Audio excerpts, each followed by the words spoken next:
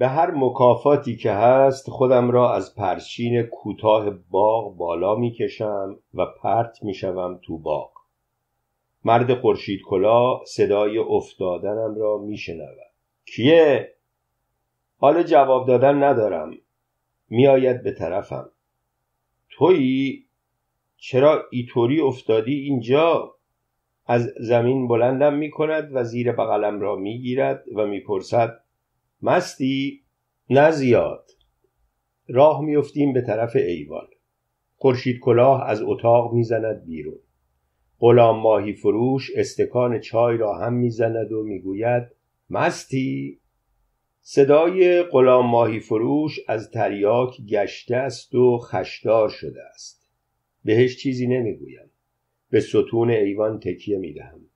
مرد خورشید کلاه می‌گوید همی حالا حال تو جا میارم. و بنا می‌کند به پختن تریاک. خورشید کلاه هنوز ایستاده است و نگاهم می‌کند. آهسته می‌پرسد حالت بده؟ سرم را تکان می‌دهم. باز می‌پرسد برات رخت خواب بندازم بخوابی نه. می‌گوید آب خنک بیارم دست و رو تو بشوری بیار. کوزه را می آورد آبش خنک است. صورتم را می شویم و آب خنک را غرغره می کنم مرد خورشید کلاه جلو می کشد و نی وافور را می گذارد به لبم. فوت کن. چند بست پیاپی می کشم سبک می شوم اما کم حوصلم انگار طاقت نشستن ندارم. بلند می شوم خورشید کلاه می پرسد حالا کجا؟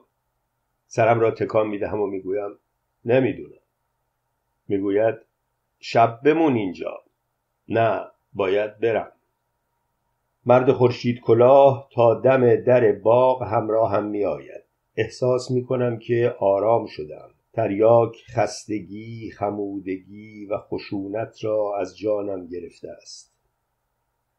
تو گاراژ ادنانی صدای رادیوهای گروهبان رازی تا هفت محله می رود راننده جهرومی لخت شده است و نشسته است رو تخت سفری و سیگار می‌کشد. به سیگار که پک می‌زند آتش سیگار مثل کرم شبتاب میدرخشد. از در گاراژ که می‌روم تو صدایش بلند می‌شد کیه؟ انگار دلم نمی‌خواهد جوابش بدهم. جلوتر که می‌روم میشناسدم. تویی؟ گفتم ای وقت شب دیگه چه کسی اومده سراغم؟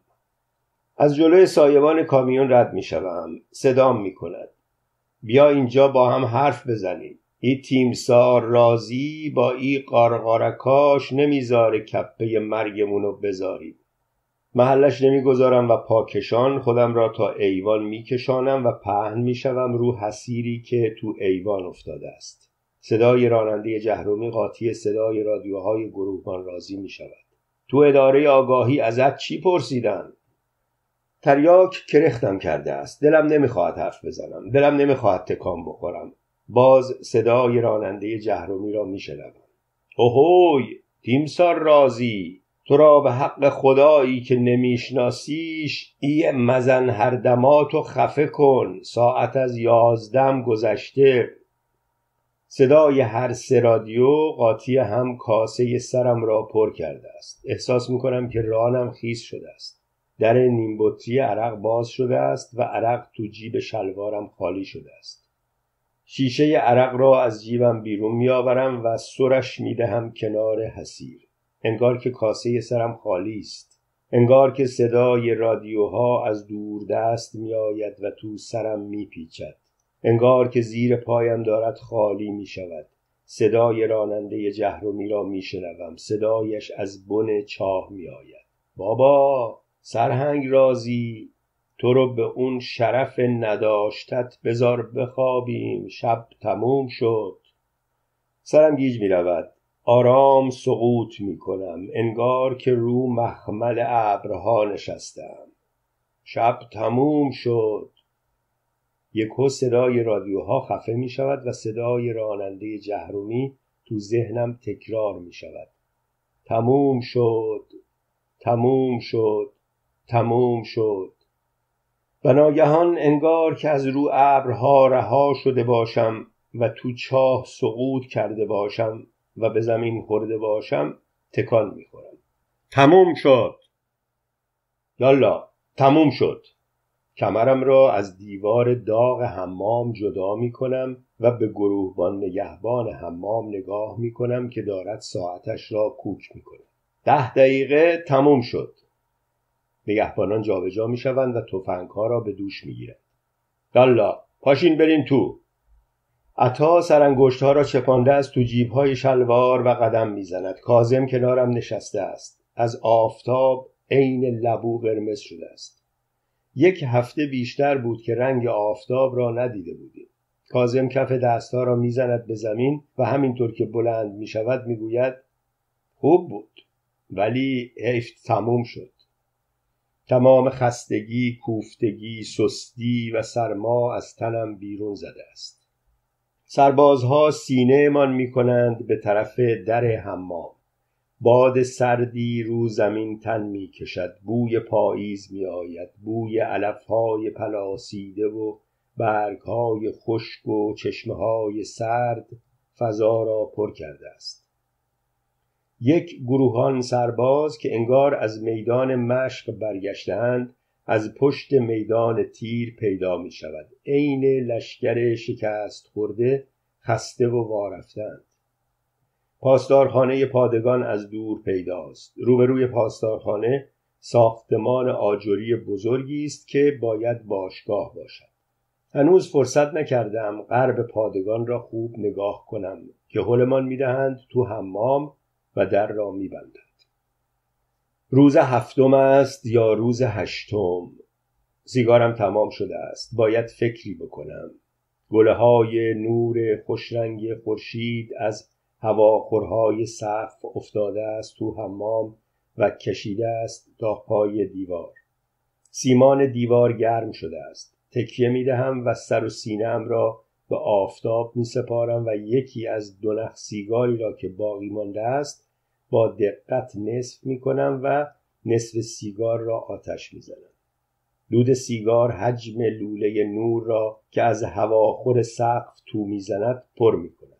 تارهای انکبوت با حرکت دود جابجا جا می شوند. چشمانم را ریز می کنم و از لای تور مجه هایم به تارهای انکبوت نگاه می کنم که به رنگین کمان می مانند. صدای حسن را می شنوم. بچه دیگه از این بدتر نمیشه. نمی‌دانم تو ذهنش چه میگذرد. نگاهش می‌کنم. باید یه کاری بکنیم. اینطور که نمیشه. می رود به طرف خورده های نان و چهار زانو می نشیند و بنا می کند به جویدن و درست کردن خمیر بالاخره یه جوری باید یه دست شطرنج درست کنید لبخند می‌زند و ادامه می دهد یکی یکی قایمشون می‌کنیم تا به دست ساقی شهید نشن. یعقوب چارزانو می نشیند روبروی حسن و کمکش می کند. اگه نتونیم یه دست شطرنج رو از چشم ساقی پنهان کنیم که برای لای جرز خوبیم. کازم می‌گوید بیشین دوزبازی کنیم. عطا سرانگشتان را فرو می‌کند تو جیبهای شلوار و بنا می‌کند به قدم زدن. از دوزبازی که حوصلهام سر می رود بلند می شوم و بنا می کنم به قدم زدن. یک جوری باید وقت را بکشم. روزها عجب دراز است و پرحوصله تمام خطها و ترکها و لکه های رو دیوارهای حمام را می شناسم. هر کدامشان شکل و قالب خاصی دارند. بیشتر به سربازان و جانوران میمانند یکهو به ذهنم می‌رسد که تو ستونهای پشت در بینه حمام جا پا درست کنم که هر وقت تو رخت کن خبری بود راحت بتوانم خودم را بالا بکشم و از درز بین در و کتیبه بالای در تو رختکن را نگاه کنم. اگر چاقو داشتم کارم خیلی آسان بود. تمام حمام را میگردم که شاید چیز به درد بخوری پیدا بکنم. دیوارها صاف صاف است. نصفه پایین دیوارها سیمان است و از نصفه به بالا گچکاری است که جا به جا تبله کرده است و اینجا و آنجا ریخته است. تمام گوشه و کنارها را با دقت و حوصله می گردم. به فکر میافتم که چند تا میخ بنفش از پوتینهایم بکشم. هرچه باشد نکتیز است. اگر میخ بنفش به سیمان کارگر شود تمام روز را و روزهای بعد را کار خواهم کرد تا جای پا درست کنم. در رختکن که باز شود جای پا پشت در پنهان می شود و چیزی پیدا نخواهد بود. پوتینهایم را از پا در می آورم و می نشینم و بهشان ور می روم. کشیدن میخ از تو پاشنه و تخت خشک پوتین کار ساده ای نیست اما راه دیگر ندارم. سر میخها صاف شده است. گلمیخها راحت تر بیرون می آید اما آنقدر کوتاه است که دستگیره ندارد. به کمک گلمیخها دو سه تا میخ بنفش و یک میخ سفید بلند به قاعده دو بند انگشت از حاشیه پوتین می‌کشم و بلند می‌شوم و کار را شروع می‌کنم. میخ رو سیمان خط میاندازد اما آنطور که باید کارگر نیست. به تلاش میافتم. یعقوب میآید به طرفم و می‌پرسد چی کار داری می‌کنی؟ بهش می‌گویم که چه کار می‌کنم. هر وقت خسته شدی صدام کن. سرانگشت هام تاول می‌زند. مچ و عضلات دستم درد می‌گیرد. خط به تدریج گود می شود ها کج و کوله می شوند خاک سیمان را از کنار دیوار جمع می کنم و پخش می کنم کف حمام و پاسارش می کنم ظهر نهار که می خورم چند میخ دیگر از پوتین ها بیرون می کشم و دوباره دست به کار می شود. بعد از ظهر گروهبان ساقی می آید درازای حمام را می رود و برمیگردد. به دیوارها و سقف نگاه می کند و بعد در آستانه در رختکن می ایستد و دستایش را به کمر می‌زند و می‌گوید این صدای خارت خارت اینجا چیه؟ خودم را می‌گیرم که رنگم بر نگردد. و همدیگر نگاه می‌کنیم و چیزی نمی‌گوییم. صدای گروهبان ساقی بلندتر می‌شود. ها این خارت خارت چی هست؟ به حرف میآیم کدوم خرت خرت؟ به چشمانم خیره می شود و می‌گوید همین دیگه همین خارت خارت. آرام می‌گویم ولی ما چیزی نمیشنویم. فکهایش را رو هم فشار می‌دهد و می‌گوید حالا را نمی‌گویم کر خر و باز درازای حمام را می رود و بر می گردد و گوشه و کنارها را نگاه می کند و از حمام می‌زند بیرون و در رختکن را می بندد. اگر چشم ساقی به ستون پشت در افتاده بود حالیش می‌شد که صدای خرت خرت از کجا بوده است پای ستون گرد سیمان ریخته بود و جای دستم که خاکه سیمان را جمع کرده بودم رو زمین نقش بسته بود. گروبان ساقی که می‌رود قصد می‌کنم که دوباره شروع کنم. حسن می‌گوید حالا نه. کازم درمانده است که گروهبان ساقی چطور صدای خرت خرت را شنیده است. عطا به هواخور سقف نگاه می کند و آهسته می‌گوید اونجا. خشتک نگهبان و لنگ های درازش هواخور مشبک را پر کرده است. اگر کمی دیگر دیوار را گود کنم انگشت بزرگ پا را می توانم داخلش گیر بدهم. همین حالاش هم بهتر از هیچ است. یک جوری باید داخل گودی را کهنه کنم که خراش ها تازه نباشد. میخها را می‌گذارم تو جیب بلوزم و منتظر میمانم تا روز بعد که نگهبان پشت بام عوض شود. شام را خیلی زود می‌دهند و در بینه را میبندند. یعقوب می‌گوید لابد بازم خبری هست وگرنه به این زودی شام نمی‌دادند. حسن سی و دو مهره شطرنج را ساخته است و تو پوتین ها قایمشان کرده است. با گچ دیوار رو زمین صفحه شطرنج درست می کنیم و پتوها را دور صفحه پهن می کنیم و می نشینیم. مهره های سیاه رنگ پس می دهد. حسن با حوصله با توف ترشان کرد و به پوتین ها مالیدشان تا واکس پوتین را به خود بگیرد چیزی از شب نگذشته است که تق و توق به در حمام بلند می شود. مهره های شطرنج را می ریزیم تو پوتین و پتو را می کشیم رو صفحه شطرنج و به دیوار تکه می دهیم و می نشینیم. در رختکن باز نمی شود از تو رختکن صداهای گنگ و مبهم می آید بلند می شوم و با احتیاط می روم و پشت در بینه حمام می ایستم حسن می آید دنبالم و آهسته می‌پرسد چی شده؟ شانههایم را بالا میاندازم. نمی‌دونم انگار. گوش می‌دهیم. صدای تیز سرگرد زیبنده است و صدای مردی دیگر و صدای پوتین کسانی دیگر صدای چندشاور کشیدن چیزی رو زمین می آید. انگار که میز یا نیمکت یا چیزی فلزی را رو زمین می کشند. اینجا بذارش اینجا صدای گروهبان شهری را میشنوم بشین یعقوب کازم و عطا یکی یکی بلند می‌شوند و میآیند پشت در. چند لحظه صداهای جور به جور قاطی هم می شود صدای خشخش برخورد کف میخاجین پوتین با زمین جابجا جا شدن چیزی و صدای تیز فلزی چیزی دیگر شبیه باز شدن کلاف فنر. چند لحظه کوتاه سکوت است نفس تو سینم تنگی می کند سوال تو نگاه همه بچه ها رنگ انداخته است. دهان حسن نیمه باز است و چشمانش بی حرکت است. انگشت کازم رو گونش میگردد. رنگ فیروزهای چشمان عطا تار شده است و به رنگ آبی سفال کهنه میماند. به پیشانی یعقوب چین افتاده است و نفس که می‌کشد مثل اسب خسته ای که چند میدان به تاخت رفته باشد پره های دماغش میلرزد. یکهو صدای سرگرد زیبنده آرام مطمئن و شمرده به گوش می‌رسد. خب از نو شروع می کنیم و باز چند لحظه سکوت است.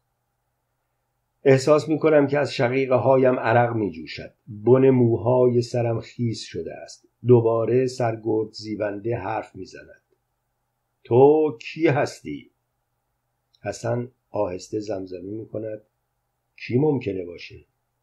رو پیشانی و رو گونه های کازم چند لک خون تازه سرخی می‌زند.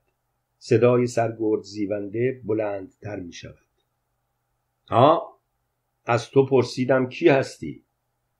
صدای خفه مردی را میشنوم که شمرده و سنگین می‌گوید گفتم که احسان احسان بیحقی دروغ میگی؟ دروغ نمیگم. چرا؟ نه. و نه گفتن احسان چنان است که انگار یک هو همه درها و پنجره ها با هم بسته می شوند.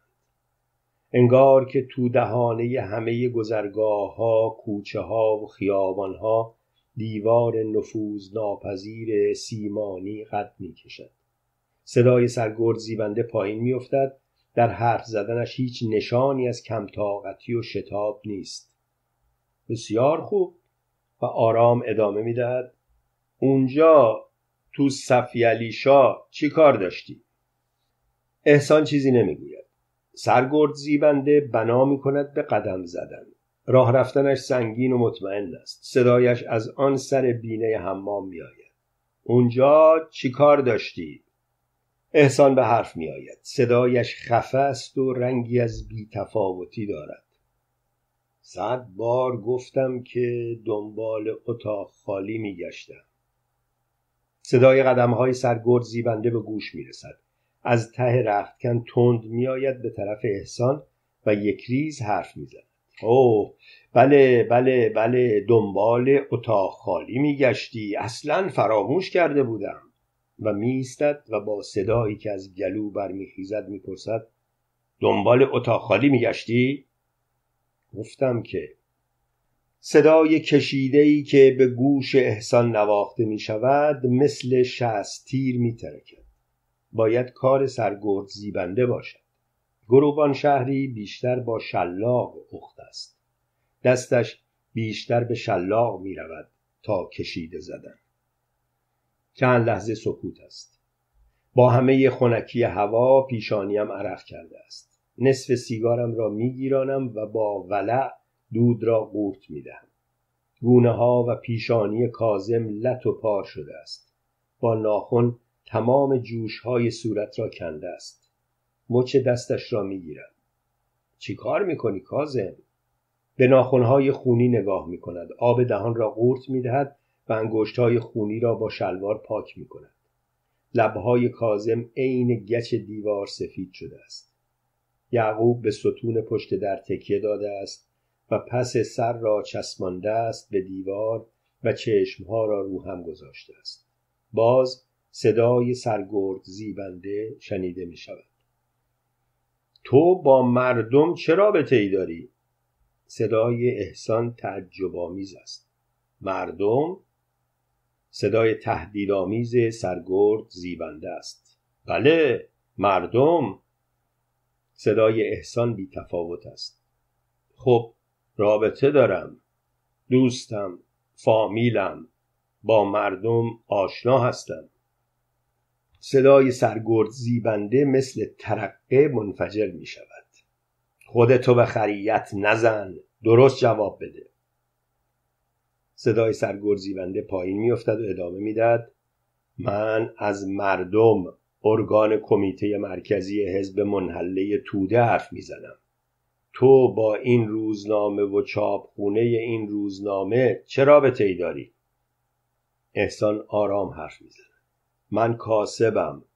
من کارگر چاپخونه نیستم و تازه سواد درست و حسابیم ندارم که روزنامه بخونم. کم کم صدای سرگرد زیبنده به لرزه میافتد. اگه تصمیم گرفتی که خودتو به خریت بزنی باور کنید جناب سرگرد من اصلا نمی‌دونم شما از چی حرف می‌زنید.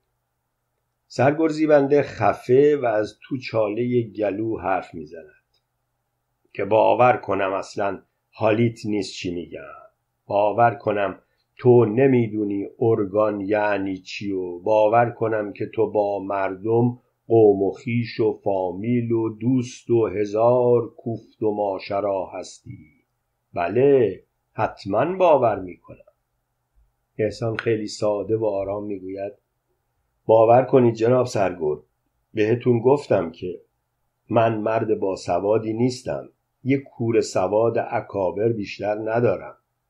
نه باور کنید اصلا نمی‌دونم ارگان یعنی چی. یا من مثل آدمای احمق حرفاتو قبول می‌کنم یا تو با سواد میشی. بالاخره یه جوری و هم کنار میای سرگرد از عصبانیت افتاده است. حرف زدنش آرام است. صدای خشخش کاغذ میآید. انگار کسی دفتری را ورق می‌زند و یا لابلای یک دست کاغذ را میگردد. خشخش که تمام می شود سرگرد زیونده حرف می‌زند. خب دوست داریم مثل احمقا قبول کنم که معنی ارگان رو نمی‌دونی. خیلی خوب. میگذریم. فعلا میگذریم. سرگرد پر صدا نفس می‌کشد و ادامه می‌داد. از خیابان خانقاه حرف می‌زدیم. گفتی پلاک خونه چند بود؟ زمزمه احسان را میشنوم. من چیزی نگفتم. شماره پلاکش چند بود؟ نمی‌دونم. نگاه نکردم. اونجا چیکار داشتی؟ احسان آهسته و آرام جواب می‌دهد. گفتم که دنبال اتاق خالی میگشتم. سرگرد زیبنده سنگین و با حوصله حرف می‌زند انگار اطمینان دارد که اشتباه نمی کند و یقین دارد که عاقبت مرد به حرف خواهد آمد. چرا وقتی در باز شد و چشمت به معمورین افتاد اوراق و اسناد و مقالات رو پرت کردی پشت در؟ من چیزی ننداختم پشت در. چرا وقتی معمورین رو دیدی دست پاچه شدی؟ دست پاچه نشدم. تعجب کردم. چون همه چیز خلاف انتظارت بود. چون به جای اینکه مهندس مرتزا در خونه رو باز کنه معمورین در رو باز کردن. آره؟ من اصلا نمی‌دونم شما از چی حرف می‌زنید. تا در باز شد یکو سربازا هجوم آوردن و کشیدنم تو خونه و در و بستن و اصلا فرصتی نبود که به قول شما چیزی بندازم تو کوچه. سرگرد بی به آنچه که احسان گفته است می‌پرسد مقالات مال روزنامه مردم بود؟ مرد پاسخی نمی‌دهد. سرگرد زیونده باز می‌پرسد محل چاپخانه کجاست؟ احسان سکوت کرده است. خیلی خوب سکوت کن انکار کن. حرکت و جنب و جوش تو رختکن آغاز می شود. پوتین هایم را از پا در می آورم. تو که شست پایم را جا می دهم تو گیر دیوار و خودم را می کشم بالا. روشنایی کمجانی تو رختکن پخش شده است. چراغ سقف گرد گرفته و کم نور است. سرگرد زیبنده یک دست کاغذ زیر بغل زده است و دارد سیگار می کشد. پاهایش را از هم باز گذاشته است. و سایش افتاده است زیر پایش. کلاه به سر ندارد. هشت پرهای فلزی رو دوشش برق می‌زند. موی نرمش ریخته است تو پیشانی بلندش. پوست سفید چهرش تو نور کم زردی می‌زند. دو سرباز تنومند شانه های پهن و پاهای چاق احسان را گرفتند و تقلا می کنند که روی نیمکت درازش کنند. احسان سیه چرده است. سرش تراشیده است. شکمش بزرگ است. گروبان شهری با قامت لاغر و استخوانی پا به پا می شود و شلاق را تو هوا می گرداند. سربازها مرد سیه چرده را دمر میخوابانند رو نیمکت یکی از سربازها می نشیند رو شانه و گردنش و پاهایش را دو طرف نیمکت ستون می کند. سرباز دوم می نشیند رو زانوهای مرد سیه چرده. شلاق تو هوا پیچ و تاب می خورد انگار که جان دارد. انگار می رخصد جا به جا هوا را خط می کشد و خم راست می شود پاهای گروهبان شهری چند بار پس و پیش می شود و بعد روبروی نیمکت ثابت می ماند حرکات ریز و پرپیچ و خم شلاق یک هو شکل می گیرد شلاق بالا می رود تو هوا چرخ می‌زند کمرش قوس بر میدارد سوت زنان پایین میآید و به کفل گوشتالوی احسان میچسبد و شلوار جر می‌خورد. مرد فریاد می‌کشد. دوباره شلاق بالا می‌رود سریع پایین میآید و به کمرش مینشیند و کشیده می‌شود و تریشه ای از پیراهن نازک مرد را همراه خود می‌کشد. تریشه پیراهن همراه شلاق بالا می رود از شلاق جدا می شود و تو هوا پیچ و تاب می خورد شلاق سوت می کشد و باز فریاد مرد بلند می شود این بار فریاد خفه است. انگار که مرد دست خود را گاز گرفته است تا درد را تحمل کند. بار دیگر شلوار جر می خورد شهری نیمه نفس شده است. مچ دستش می گردد بازویش پیچ و تاب می‌خورد. گردهش خم و راست می‌شود. شلاق رو هوا کش و قوس بر و پایین میآید حالا دیگر صدایی از احسان بر نمیخیزد دست سرگرد زیبنده تکان می‌خورد شلاق از حرکت میافتد گروهبان شهری از جلو نیمکت عقب می نشیند و پرصدا دماغش را می گیرد. سربازها از رو تنه مرد چاق بلند می شوند. پای راست مرد سر می‌خورد و از رو نیمکت میافتد پایین. دستهایش رها می‌شوند دو طرف نیمکت و گونهش به نیمکت میچسبد. رو کمر و رو کفل مرد لکه های خون زیر نور کمجان چراغ میدرخشد. سربازها عقب می‌کشند. سرگرد زیبنده آرام جلو میآید. رو گرده مرد خم می شود و از شکاف پیراهن که جا به جا جر خورده است آتش سیگار را به زخم تازه شلاق می چسباند یکهو تمام تن مرد چاق با همه سنگینی از جا کنده می شود و دوباره به نیمکت می چسبد سرگرد به سیگار نیمه خاموش نگاه می کند و بعد آتش سیگار را تو گوشت خاموش می کند و عقب می نشیند مرد سیه چرده جای خودش وول می خورد صدای سرگرد زیبنده در می آید. پاشو مرد تکان نمی خورد. سرگرد به سربازها اشاره می کند. بلندش کنیم سربازها هر دو با هم هجوم می‌برند به طرف نیمکت. بازوهای احسان را می‌گیرند و از نیمکت جداش می‌کنند انگشتان پایم خسته شده است. توان نگهداری تنم را ندارند. سربازها از دو طرف مرد چاق را می‌گیرند تا بتواند رو نیمکت بنشیند. چشمان مرد بسته است. از گوشه دهانش رشته خون نازکی تا چانهش چیار بسته است. انگار که نفس تو سینهش گره خورده است. انگار که سکسکه می کند انگشت پایم از تو گیر دیوار سر می خورد با هر دو کف دستم به ستونهای پشت در رختکن فشار می آورم که پرت نشوم. آرام سر می خورم به طرف زمین. بچه ها همه سکوت کرده اند. کازم زیر لب می‌پرسد شناختیش؟ نه. رنگ عطا سفید شده است. گوشهایش را تو کف دست گرفته است و زمزمه می کند اینجا از هر شکنجگاهی بدتره.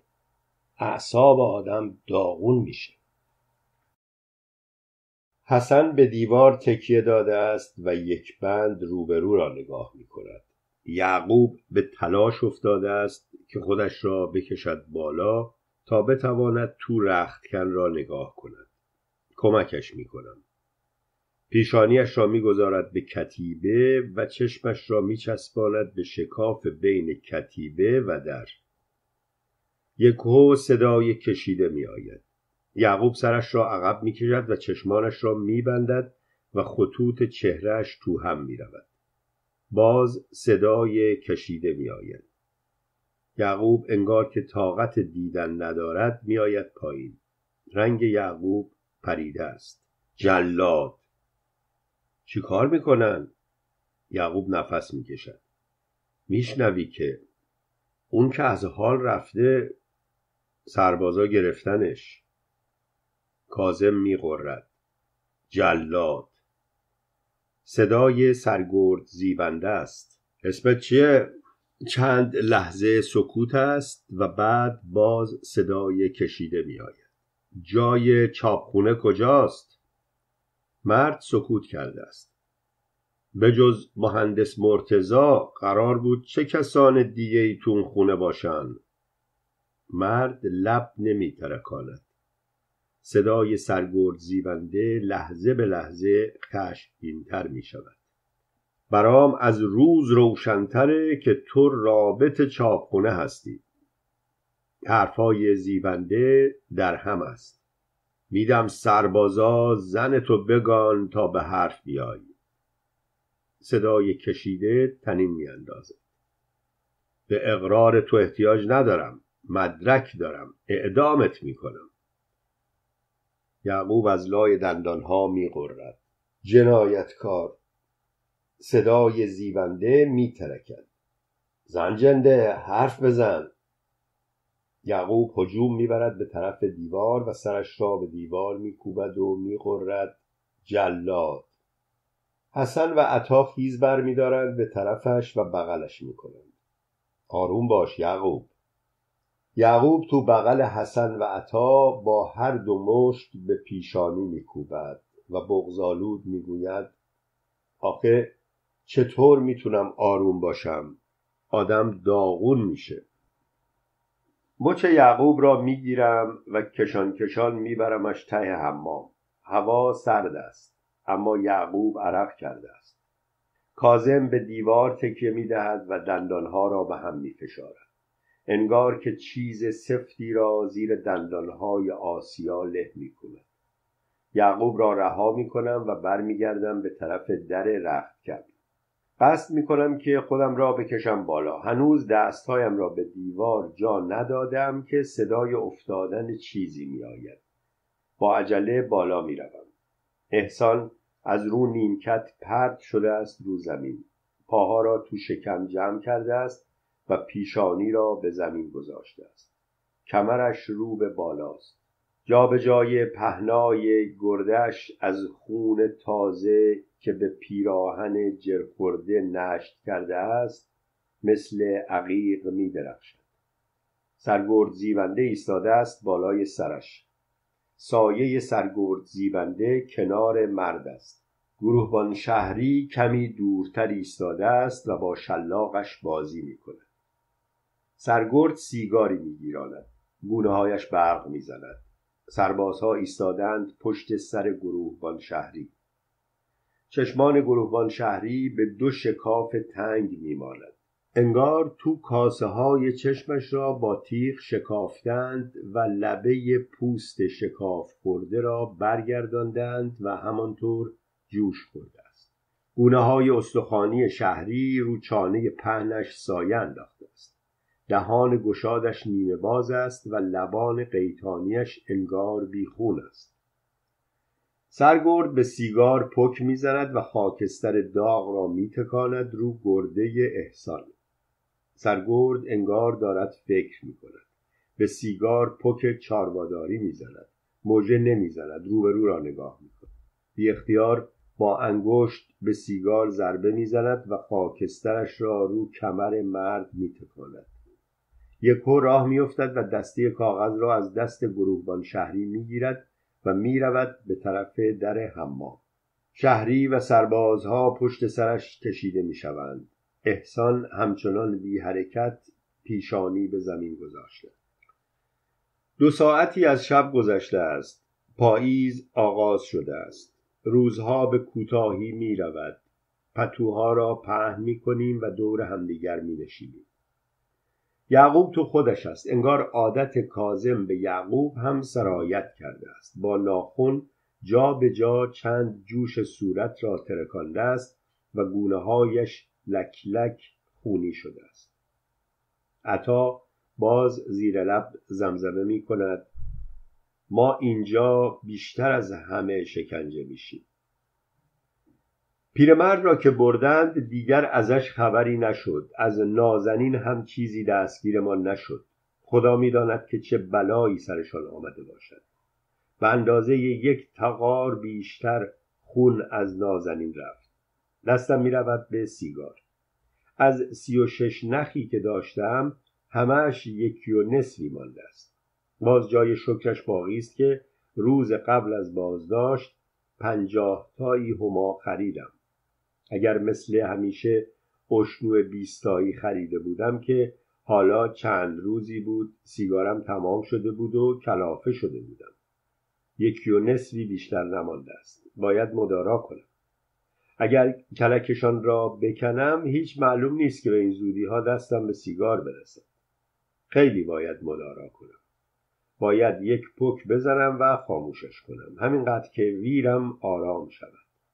جعبه سیگار را می‌گذارم تو جیبم و فکر می‌کنم که راه بیفتم و از گوشه و کنار حمام همه کون سیگارها را جمع کنم. هرچه باشد توتون است و هر کدامش می‌تواند جوابگوی میل سیگار کشیدنم باشد. کازم به حرف میآید. از سرما یخ می‌کنه. قرضش احسان است که تو رختکن افتاده است.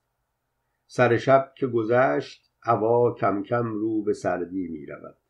کازم ادامه می‌دهد اگه می‌تونستیم یه جوری دو تا پتو بهش بدیم خوب می‌شد می‌داند که حرف بی رفت می‌زند اما می‌زند در رختکن از آن طرف قفل است و در آهنی است و دیوارها سیمانی است و حتی راه نفس کشیدن هم ندارد.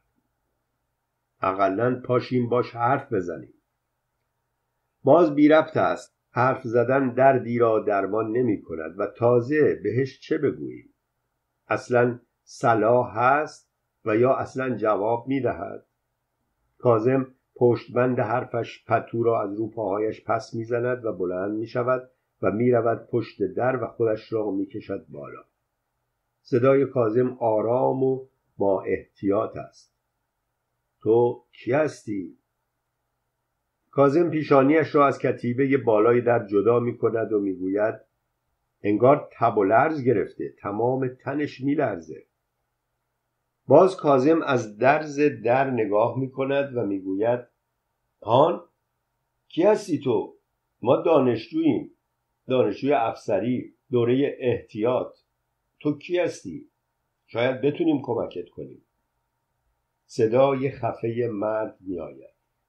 اگه سیگار دارین کازم جست می‌زند پایین. سیگار داری؟ با من است. هیچ کدام از بچه ها سیگار نمی‌کشند. می‌گویم دارم. گمان می‌کنم که بشود سیگار را از درز در انداخت تو بینه حمام. نخ سیگار را می‌گذارم زمین و با سرانگشت فشارش می‌دهم تا خوب تخت و نازک شود. بعد سیگار را آتش می‌زنم و به لب می‌گیرم و می‌روم بالا. با احتیاط تمام سیگار را از درز در حل می‌دهم تو و بعد با سرانگشت بهش تلنگر می‌زنم. سیگار پرت می‌شود و میافتد رو لبه سکوی رختکن. احسان چند لحظه به در نگاه می کند و بعد خودش را رو زانوها جلو می کشد. نیمه راه از حرکت باز می ماند و آرام کمرش را قوس می دهد. از زخم شلاق رنج می برد. چند لحظه بی حرکت می ماند. سیگار رو لبه سکو دود می کند. توتون سیگار خشک است و له شده هم هست. درست و حسابی می سوزد. تا خودش را به سیگار برساند نصفش دود می شود مرد باز راه می افتد. دست دراز می کند و سیگار را بر می دارد و پک می زند و با ولع دود را می بلد. پشت سر هم پک می زند چشمها را رو هم می گذارد انگار که گیج شده است. زیر نور چراغ قطره های درشت عرق رو پیشانیش می درخشد سیگار را لای لب می‌گیرد و با زحمت رو چهار دست و پا میخزد و می‌رود به طرف نیمکت. گونهاش را می‌گذارد رو نیمکت و چشمایش را میبندد. انگار که دود سیگار گیجش کرده است. چند پک دیگر به سیگار می‌زند و خاموشش می‌کند و بعد دستهایش را و پیشانیش را می‌گذارد رو نیمکت و آرام می‌گیرد. ازش می‌پرسم سردت نیست؟ پیشانیش را از رو نیمکت بر می دارد و به در نگاه می کند و سرش را به چپ و راست می گرداند. به نظرم می رسد که لبخند کمرنگی رو لبهایش نشسته است. باز به نیمکت تکیه می دهد. فکر می کنم که اگر باز سیگار خواسته باشد چطور می توانم بهش بگویم که ندارم. جست می‌زنم پایین و راه میافتم تو حمام و کونه های سیگار را جمع می کنم و می ریزم تو جعبه سیگار هر کدام از یک بند انگشت کوتاهتر است کاش همه سیگارها را نکشیده بودم. کاش اقلا چند نخی داشتم. هیچ دلم نمی‌خواهد که بهش بگویم سیگار ندارم. حسن می‌پرسد چی کار می‌کنی؟ دارم ته سیگارا رو جمع می‌کنم. مگه دیگه نداری؟ حتی به حسن هم دلم نمی‌خواهد نه بگویم. من من می‌کنم و می‌گویم چرا؟ یه نصفه دارم. همش یه نصفه؟ سرم را تکان میدم یعقوب می‌گوید عجب اقبالی. کونه های سیگار را جمع می کنم و می نشینم کنار بچه ها و پتو را می کشم رو پاها کازم می گوید پتوها رو جمع کنیم بریم پشت در بشینیم. یعقوب می‌گوید بد نیست شاید کاری داشت. اقلا صداشو بشنویم. عطا می‌گوید چه کار می‌تونیم براش بکنیم؟ کازم می‌گوید خیلی کارا که ممکنه حالا به عقلمون نرسه و ادامه می‌دهد. مثل همین سیگار. هیچ فکر می‌کردیم که ممکنه یه سیگار بخواد؟ فکر می‌کردیم که می‌تونیم بهش سیگار بدیم؟ پتوها را پهن می‌کنیم پشت در. یعقوب تاغباز میخوابد و پتو را تا چانه می‌کشد. کازم می‌گوید هیچ جوری نمیشه آدم خودشو مشغول کنه. بد جوریه. و رو می‌کند به عطا. می‌تونیم یه دست شطرنج بزنیم. اقلا اینجوری مشغول میشیم. عطا می‌گوید دلم می‌خواد اما نمی‌تونم. و با انگشت به پیشانی می‌زند و می‌گوید خیلی در همه. اصلا کار نمی‌کنه. کازم لنگه پوتین را می‌کشد جلو و می‌گوید باشه منم همینطورم. بیا بیا یه جوری خودمون رو سرگرم کنیم. جای مهره های شطرنج تو لنگه های پوتین است روزها که پوتین ها را به پا می کنیم لابلای پتوها قایمشان می کنیم کازم مهره های شطرنج را خالی می کند رو پتو و از گچ دیوار که تبله کرده است نازک گچی جدا می کند و رو زمین سیمانی صفحه شطرنج می کشد و مشغول می شود. حسن می نشیند پشت در و گوشش را به در می چسباند. نگاه هم به بازی بچه هاست که حسن می گوید پاشو یه نگاه بکن. انگار منتظر بودم که کسی به هم بگوید بلند شوم و تو رختکن را نگاه کنم. احسان بازوها را رها کرده است رو نیمکت و پیشانی را تکیه داده است رو ساعد دست صدای جیر جیرک ها حجم رختکن را پر کرده است خون رو گرده مرد دلمه شده است و بازتاب تاری دارد. حالتون چطوره؟ دارم حالش را می‌بینم. اصلا پرسیدن نداشت اما برای اینکه حرفی زده باشم پرسیدم. سرش را از رو ساعد دست می‌گیرد و به در نگاه می‌کند. تردید دارم که بتواند ببیندم. رد نگاهش به دستگیره در است. سرش را تکان می‌دهد. باز تصور می‌کنم که لبخند می‌زند. بهش می‌گویم ما اینجا پشت دریم. گوشمون به دره. اگه کاری داشتی بگو. حالا لبخند می‌زند دندانهای آبیگونش تو پوست تیره صورتش برق می‌زند. چند لحظه به در نگاه می و بعد به اینکه حرفی بزند پیشانی را می‌گذارد رو ساعد دست. حرفی نداریم که به هم دیگر بگوییم. می نشینم و به دیوار تکیه می دهم و هوس می کنم که سیگاری بگیرانم. عطا و کازم شطرنج بازی می کنند از فکر کردنشان و مهر حرکت دادنشان بیحوصلگی می بارد. به صفحه شطرنج نگاه می کنم شاه سیاه کیش است ولی اصلا حالیشان نیست. بی خود تلاش می کنند که مشغول شوند. جعبه سیگار را باز می کنم اول دستم می رود به نصف سیگار. انگار انگشتانم را می سوزاند کنارش می‌زنم و یکی از کونه های سیگار را بر می دارم و آتش می زنم ته سیگار جای گیر ندارد که با انگشت بگیرمش. اگر مشتوک بود می توانستم همهش را تا ذره آخر توتون دود کنم.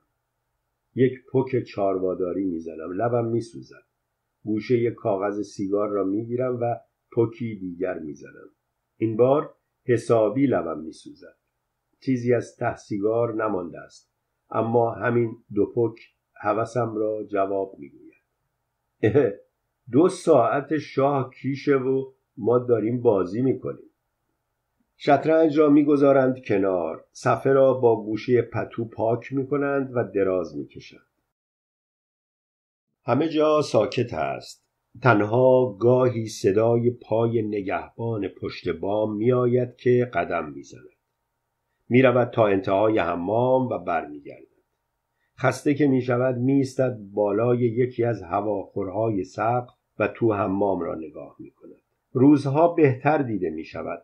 پست قبل از ظهر کوتاه قامت است اما پست ظهر به بعد دیلاق است. لنگ های درازش به پایه های بلند سپایه های قپان میدان بارفروش ها میماند اما پاهای کوتاه پست قبل از ظهر که قالب شلوار است عینهو میله های کلفت و کوتاه زورخانه است. صدای پای نگهبان خفه می شود. تکیه می دهم به دیوار و می‌روم تو خودم. صدای یک نواخت جیرجیرک ها تو گوشم است. یک هو صدای خشک و فلزی باز شدن در حمام چرتم را پاره می کند. بی اختیار از جا می پرم و آماده می شوم که خودم را بکشم بالا و تو رختکن را نگاه کنم. به نیمه شب چیزی نمانده است. سرگرد زیبنده سر حال است. به گمانم که مشروب خورده است. باشگاه نزدیک است. روبروی بازداشتگاه است. سرگرد زیبنده هر وقت بازجویی می کند همیشه میز مشروبش تو باشگاه آماده است. خسته که می شود و حوصلش که از دست بدقلقی های زندانیان سر می رود راه میافتد و می‌رود و چند استکانی می‌زند و خودش را می‌سازد و برمیگردد و حالا لابد شام مفصلی خورده است و مشروبش را هم پروپیمان زده است و شنگول و تازه نفس آمده است به سراغ احسان این بار گروهبان شهری همراهش نیست به جایش گروهبان ساقی آمده است که حالا دارد با سبیل بزرگش ور می رود. انگار که غذای چرب خورده باشد با کف دست سبیل و دهان را پاک می کند. چشمان درشت گروهبان ساقی تو چشمخانه می گردد و به طرف در رختکن ثابت می ماند. چند لحظه به در نگاه می کند و بعد پرونده ای را که به دست دارد می‌دهد به یکی از سربازها و با قدمهای بلند راه میافتد به طرف در رختکن جست می‌زنم پایین و مثل گربه رو چنگ به زمین می نشینم و عجولانه می گویم بچه ها ساقی همه پتوها را رو سر می کشیم و نفسهامان را تو سینه حبس می کنیم. در بینه حمام با سر و صدا باز می شود. یک هو کشاله رانم آتش می گیرد. گروبان ساقی با نوک پوتین چنان به نرمی رانم میکوبد که سرم درد می‌گیرد. فریاد گروهبان ساقی حمام را پر می کند کدام بی ناموسی گفته است اینجا بتمرگید پتوها را پس می‌زنیم و مینشینیم. یالا جمع کنید و گورتان را گم کنید و بروید آنجا. ته حمام را نشان میدن جای حرف زدن نیست. پتوها را جمع می‌کنیم. ساقی خم می شود و پوتین ها را بر می دارد و پرت می کند ته حمام. مهره های شطرنج از تو لنگه پوتین بیرون میریزند و همراه پوتین که رو هوا معلق می‌زند پخش می‌شوند خون به صورت ساقی میجهد. باز هم گماربازی و با گلمشت می‌گذارد پس گردن یعقوب که دم دستش است و شلنگانداز راه میافتد و مهره ها را لگد می‌کند. زبان آدمیزاد سرتان نمی شود ها؟ پتوها زیر بغلم است و از کنارش رد می شوم. چنان با مشت میکوبد بین دو کتفم که نفسم بند میآید. کشیدهش به گوش حسن می نشیند و لنگ درازش رو هوا می گردد و با تیپا میکوبد به لگن خاصره کازم عطا قصر در می‌رود. جمعمان می‌کند ته حمام و می‌گوید دارم با زبان آدمیزاد حرف می‌زنم. خوب گوشهایتان را باز کنید. حق ندارید از اینجا تکان بخورید. اگر تکان بخورید تیر بارانتان می‌کنم. اولین بار است که گروهبان ساقی زیاد حرف می‌زند همیشه حرفش را نصفه می‌گوید و باید بفهمیم که چه گفته است. با حرف زدنش آشنا هستیم. اگر باز هم پشت در آمدید پاهاتان را خرد می‌کنم. گماربازی هم موقوف. اگر کردید اعدامتان می‌کنم. پتوها زیر بغلمان است. ساکت ایستاده ایم و چیزی نمی‌گوییم باز حرف می‌زند. اینجا گمارخانه که نیست. گاستوران که نیست باشگاه هم که نیست. چانه پهنش تکان می‌خورد و از زیر سبیل سیاهش کلمات خشن بیرون میریزد. خانه خاله هم که نیست. پس اینجا چیست؟ اینجا زندان است دیگر. می‌خواهد راه بیفتد. چرا مثل گاتر نگاهم می‌کنید؟ یالا پتوهاتان را پهن کنید و بخوابید. دم در میستد و بلند می‌گوید اعدامتان می‌کنم اگر دیگر پشت در آمده باشید. می‌رود بیرون و در را میبندد. کشاله رانم تیر می‌کشد. میان دو کتفم چنان زنشی دارد که نفس کشیدن برایم مشکل شده است. جای انگشتان کلفت گروهبان ساقی رو گونه سبزه حسن نقش بسته است. یعقوب پس گردن را میمالد و می‌گوید مادر جنده عجب ضرب دستی داره. نفس که می‌کشم گردم تیر می‌کشد. دراز می‌کشم و دستهایم را از دو طرف باز می‌کنم و نفس عمیق می‌کشم. درد چنان است که انگار تو گردم سیخ داغ فرو کردند عطا می آید و می نشیند بالای سرم و می‌پرسد خیلی درد داره؟ بهش می‌گویم که راحت نمی‌توانم نفس بکشم. یکو فریاد مرد سیه چرده حمام را پر می کند بی اختیار تکان می خورم و می نشینم هیچ کداممان جرأت نمی کنیم برویم پشت در. کاظم می گوید هرچه باد آباد و تیز می رود پشت در رختکن و خودش را بالا می کشد و از درز در نگاه می کند باز فریاد احسان تو حمام می پیچد همه پشت در جمع شده ایم. کازم سر می‌خورد پایین. ازش می‌پرسم چی شده؟ چیزی نمی‌گوید. رنگش سفید شده است. چندک می‌زند کنار دیوار و سرش را تو دو دست می‌گیرد و چانه را می‌گذارد رو زانو. طاقت نمیآورم. انگار خودم باید ببینم. انگار اگر خودم ببینم که تو رخت کنچه میگذرد راحت می‌شوم. شست پایم را جا می دهم تو گیر دیوار و باهوهای در را می گیرم و بالا می روم و چشمم را می چسبانم به درز بالای در. گروبان ساقی سخت و محکم مثل خرپا ایستاده است و پاها را از هم باز گذاشته است. سربازها عینهو عمله عذاب هر دو برافروخته و هر دو آماده فرمانبرداری هستند. سرگرد زیبنده ایستاده است روبروی احسان. باز دارد سیگار می‌کشد گونه هایش گل انداخته است. محل چاپخونه کجاست؟ احسان پشت به در رختکن رو دو کنده زانو نشسته است. پیراهنش از رو شانه تا پایین جر خورده است. دستهایش یکی از بالای شانه و دیگری از پهلو به هم رسیده است و به دستبند قپانی نشسته است. سر احسان آنقدر به عقب خم شده است که خط پیشانیش را می‌بینم. انگار که خودش عمدن به گردن فشار آورده است تا سینهش کشیده شود و دستهایش تو دستبند راحت باشد. سرگرد میآید جلو و به آرامی خاکستر سیگارش را میتکاند تو صورت مرد سیه چرده. سر مرد حرکت می کند و به جلو کشیده می شود و خیلی زود باز به عقب برمیگردد. ها محل چاپخونه روزنامه مردم کجاست؟ مرد سکوت کرده است. سرگرد با حوصله خم می شود و آتش سیگار را می چسباند به پیشانی احسان.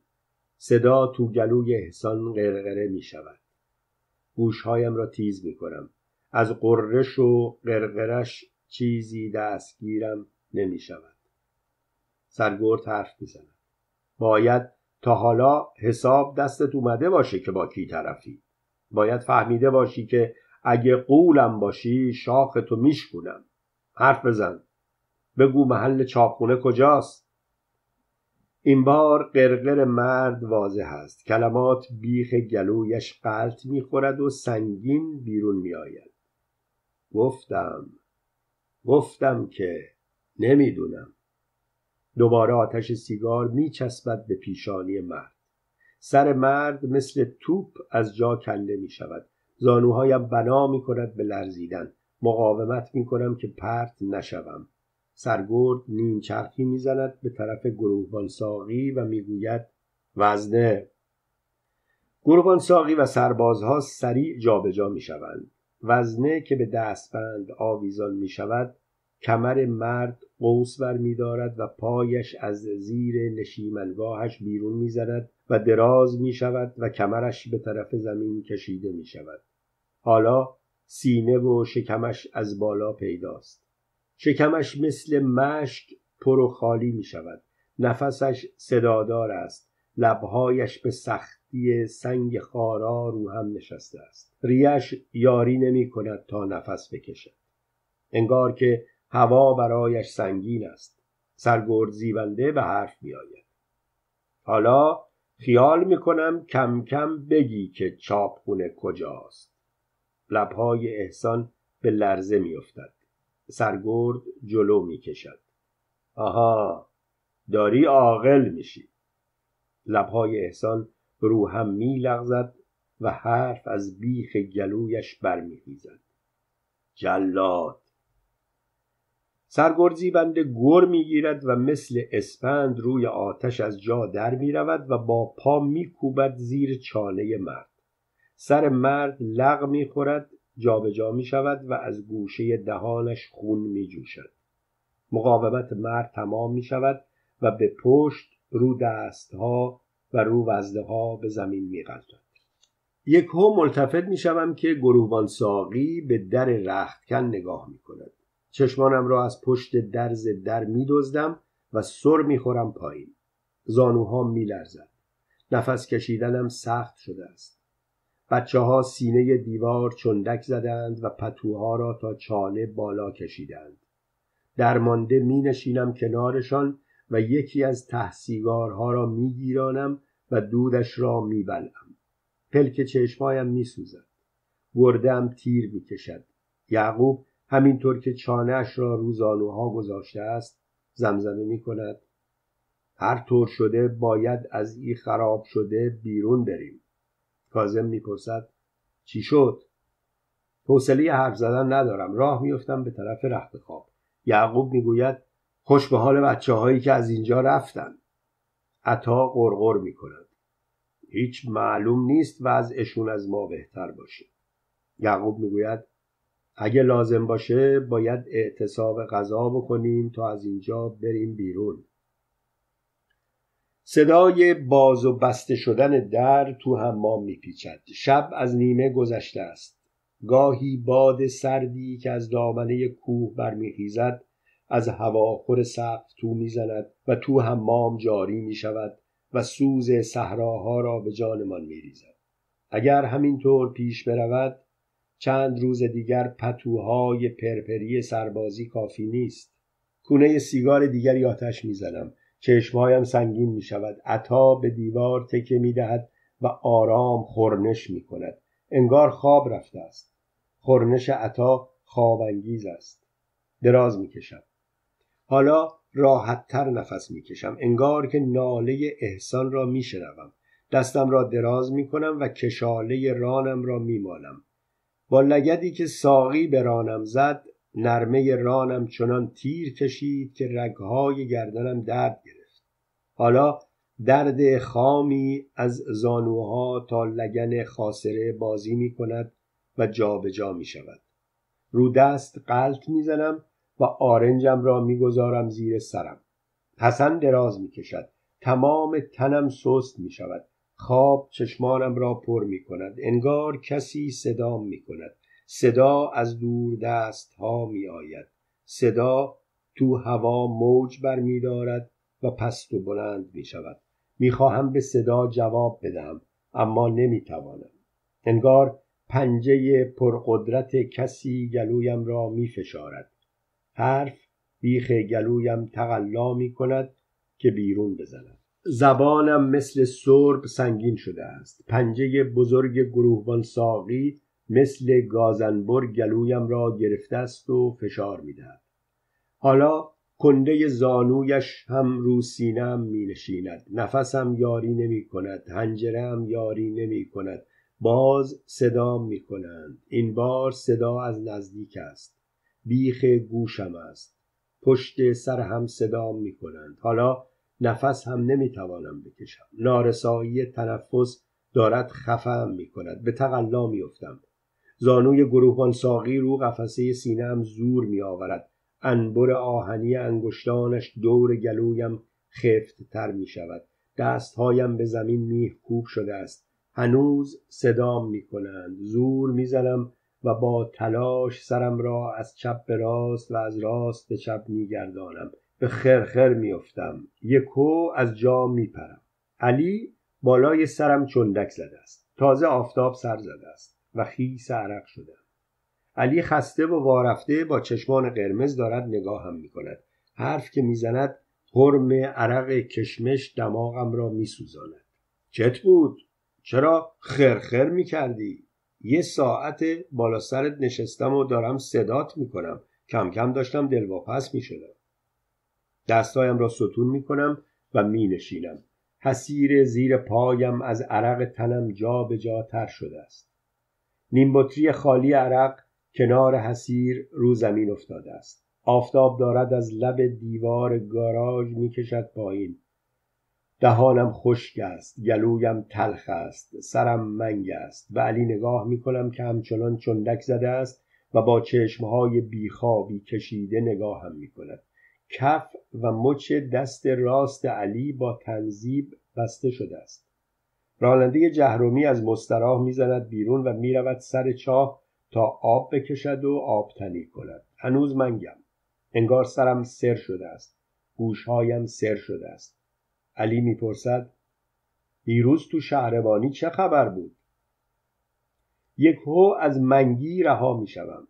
شریفه تو ذهنم شکل می‌گیرد.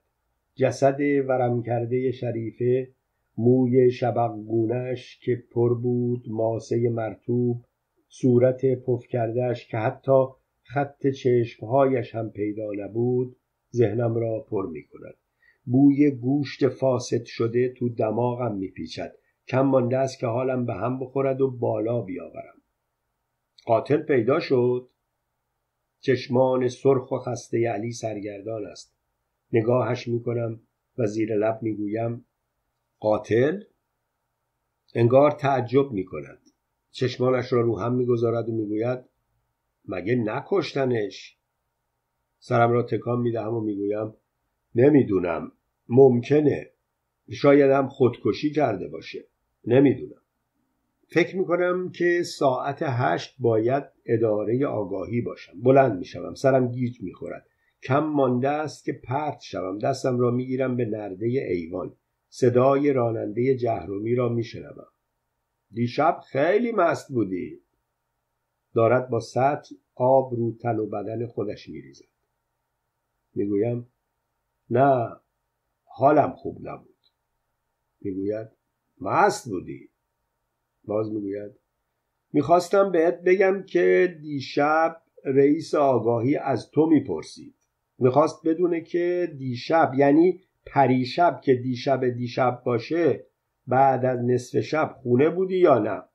همون شب و می‌گفت که آسمون قرنبه بود و باد و بارون بود. باید آب بریزم رو سرم که حالم جا بیاید. علی رو می‌کند به راننده جهرومی و ازش می‌پرسد مگه تو هم شهربانی بودی؟ راننده آب را تو دهان قرقره می‌کند و بعد می‌گوید خب معلومه که بودم. علی از بالای نرده ایوان جست می‌زند تو حیات و می‌رود به طرف راننده جهرومی و ازش می‌پرسد تو دیگه چرا؟ گروهان رازی از پله ها می آید پایین و گشاد گشاد می رود به طرف در گاراژ. راننده جهرومی با سر به گروهبان رازی اشاره می کند و می‌گوید اینو؟ علی باز می‌پرسد برای چی رفته بودی شهربانی؟ رفته بودم. جناب رئیس احزارم کرده بود. چرا؟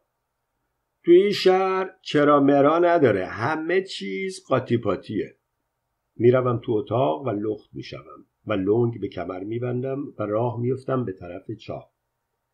راننده جهرومی رو یک پا لیلی می کند و با کف دست رو گوش می‌زند.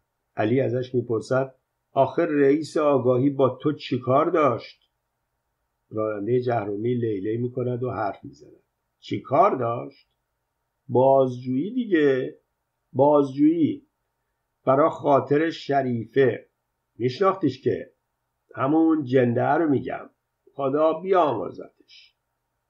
راننده از لیلی رفتن باز میماند و روبروی علی میستد و می‌گوید درسته که جنده بود ولی خب حالا که مرده باید بگم خدا بیامرزتش. برا خاطر اینکه هرچی بود دیگه تموم شده. سطل آب خنک را خالی می‌کنم رو سرم. چشمهایم باز می شود دهانم را می شویم آب لبشور است. تنم خنک می شود منگی و گیجی از سرم می پرد. علی زیر بازوی لخت راننده جهرومی را می‌گیرد و قدم به قدم میبردش زیر سایبان کامیون و باش حرف می‌زند. لباسم را میپوشم و از اتاق می‌زنم بیرون. علی راننده جهرومی را رها می کند و میآید به طرفم. چشمانش بد جوری سرخ شده است. خونی است. انگار که چند شب پشت سر هم بیخوابی کشیده است. صورتش تکیده شده است. ریشش را خوب نتراشیده است. جا به جا موی زبر ریشش سیاهی می‌زند. لباسش به تنش گریه می کند کثیف و پرچروک است. انگار که حسابی باران خورده است و همینطور به تنش خشک شده است. نگاه علی منگ و سردرگم است. می‌پرسم دستت چی شده؟ به تنظیب چرک نگاه می‌کند و می‌گوید هیچی همینطوری. بطری تو دستم شکست. راه میفتم میرم پیش علی دادی زودتر آبتنی کن بیا تا ناشتایی بخوریم. ساعت هشت باید شهربانی باشم چند قدم دنبالم راه میآید. ساعت هشت؟ مگه دیشب تموم نشد؟ می‌گویم نه. چند لحظه سکوت می کند و پیش پایش را نگاه می کند همینطور که سرش پایین است آهسته به حرف می آید تو برو. من می‌خوام بخوابم. و راه میافتد به طرف پله های ایوان.